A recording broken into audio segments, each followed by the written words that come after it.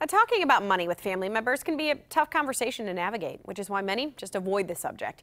But a new study from Ameriprise Financial found that communication is key when it comes to feeling confident about the future of your family's finances. Marcy Keckler, Vice President of Financial Strategy at Ameriprise Financial, has more. I'm Marcy Keckler, the Vice President of Financial Advice Strategy at Ameriprise Financial. And today we're talking about families and money. We have some new research that helps us understand the conversations families are having about money across generations.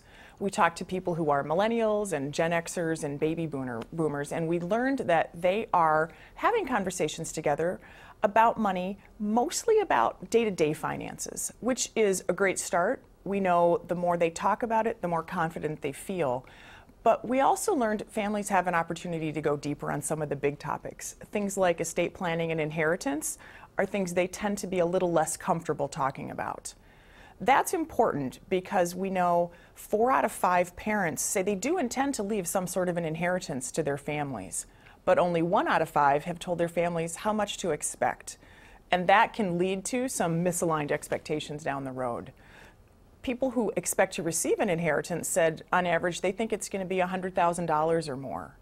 But people who have already received one on average say it tends to be less than that. So misaligned expectations is something families can correct by having conversations. And families who've had these conversations together tell us it went pretty well. They were afraid it might be awkward, it might be difficult, but once they did it, they found it helped them feel better.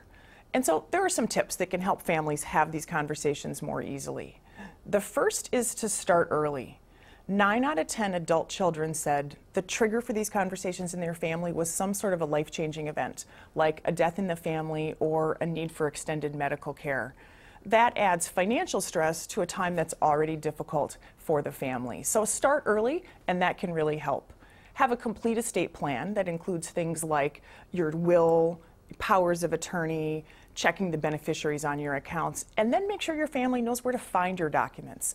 They need to be able to find them in a time of need. And finally, working with a financial professional can help have the conversation more easily with your family members. That can be somebody who can facilitate an objective dialogue. If you're looking for more information, we have great information at our website, ameriprise.com slash family wealth.